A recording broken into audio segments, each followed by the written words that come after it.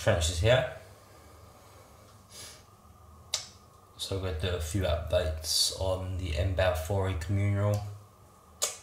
We're going to take a look at that. We're going to get the tank out and look in the, uh, the hole at the back. But we're going to start off by feeding my uh, Nhandu tripepii. Let's see if uh,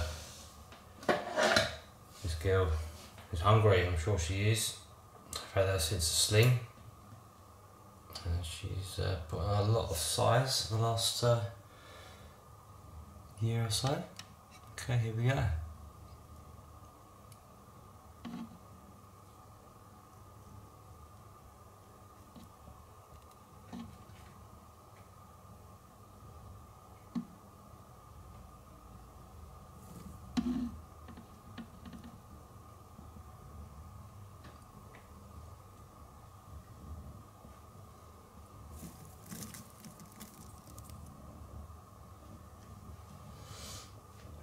beautiful take down there.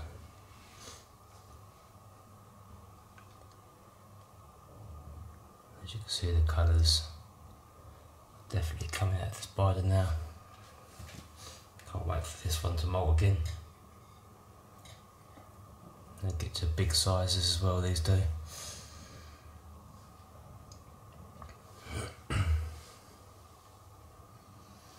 See if we can get in there closer.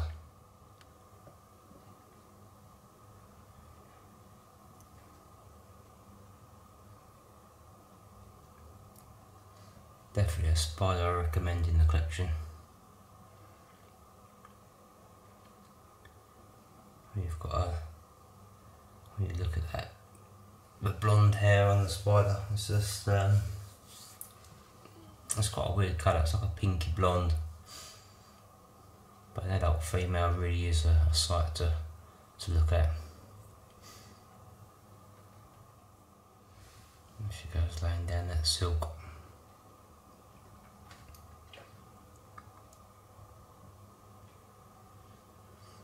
They are known to be a little bit skittish. They're also known to flick hairs. This one would rather run. I've never had her flick hairs at me at all. Just always bolt. But once they uh, they realise there's no danger, oh yeah, yeah they come out again. Nice display spider these.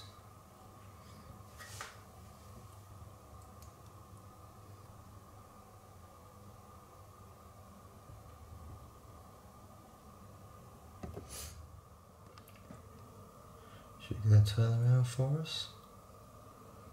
Yes, she is.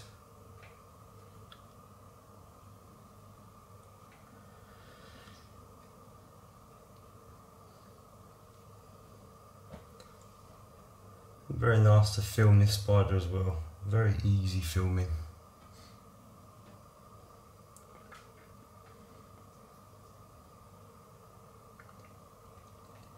I do like my old worlds do like my pokies and tree spiders and, and what have you, but some of the great display spiders are very good for filming.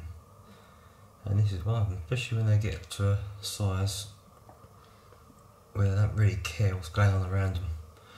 And I've said it before, but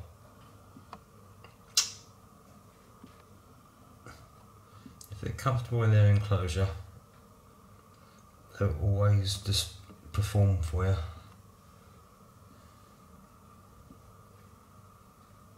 All my enclosures of live plants in there,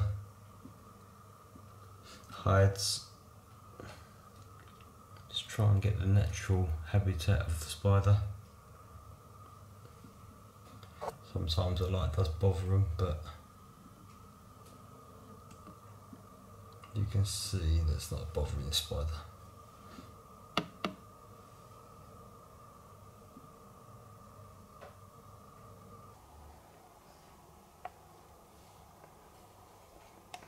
Okay, I've been wanting to get a takedown on my tailless whip scorpion for ages now.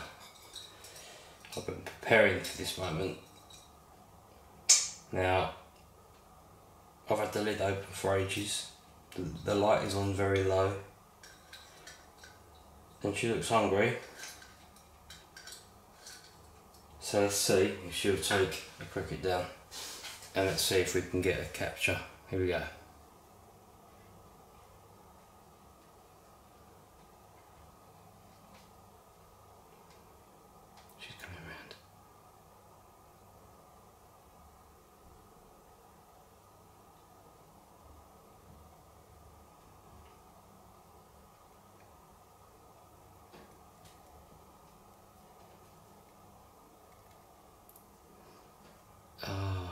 Oh no, I thought we it then. Maybe it's too big. Then we get a smaller cricket. I've got some little micro crickets here. I'm just going to chuck them on the log if I can. They're in there, but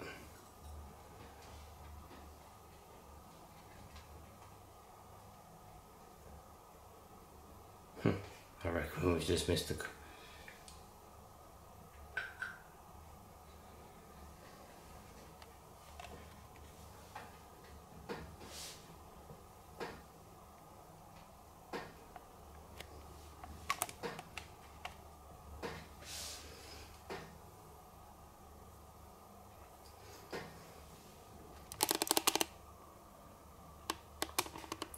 C- Uh, the crickets go around now. Oh. Was that a takedown? Yes, it was a takedown.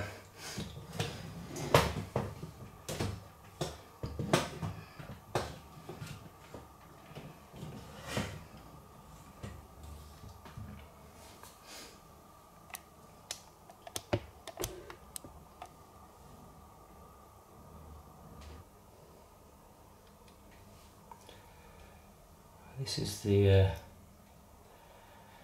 best I can do at the moment. I've had to turn the enclosure around. Unfortunately, it's in that horrible plastic you can't really see much through it. But that's the best footage I've got of it since I've got this uh, whip scorpion, Howler's whip scorpion. I'm not sure if that takedown was captured on camera. At least we've got something. I've turned the light up a little bit. I really don't like light. You can see the little jaws working there. They're like the scorpion jaws.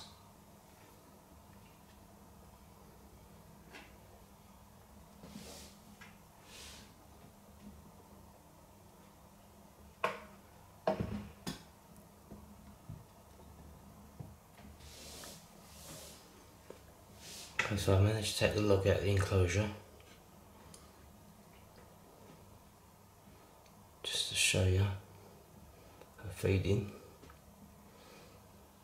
She seems much calmer. Now she's got some food.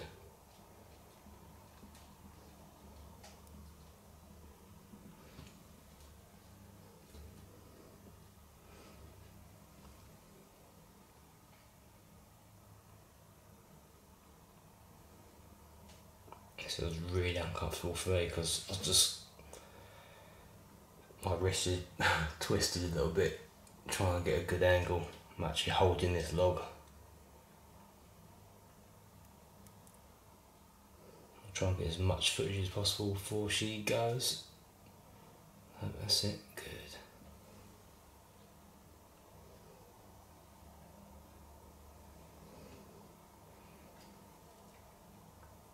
She dropped it. I think she's uh, ready to go back now.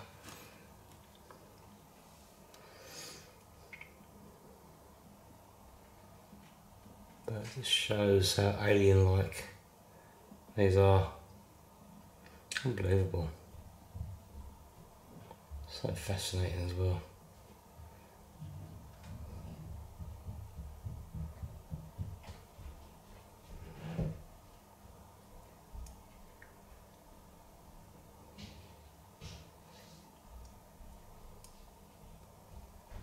Okay, let's put it back in the enclosure. So this is the uh, back of the enclosure of my Balfour communal. Basically what I've done, I've just taken the tank out, turned it around and put it back in. Let's see if we can uh, see what's going on back there, because um, obviously I've got a mature male amongst that lot, and we've witnessed uh, breeding so let's uh, have a look at the back. And uh, Okay, so I've just stuck the torch at the side. To the left is a female. Just wandering in the, just going way of the light there. And to the right is the male. Um, other than that, there's nothing much I can see. There's just too much web in the way but that goes all the way back there.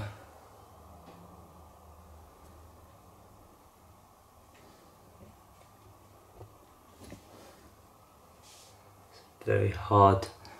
Oh there's another female just there.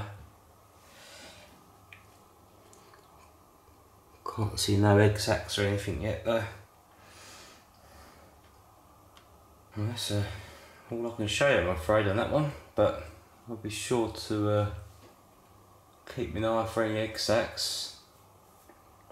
I'll get some footage hopefully. So yeah much the same with my um, Poecilotheria subfusca lowland communal. There's nothing much to see at all in here. Um, I've only witnessed them out a couple of times far as I can see they're all still in there but they're all bundled up together. In there somewhere there's still a, a cricket in there as well.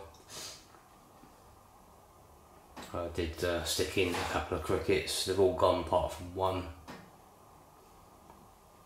So uh, again what I might have to do with this lot is it's hard to tell whether they're molting or not. I know I've definitely had some molts. I've definitely had some molts in there because I've dragged a few out and they are getting big as well. There's a big female in there.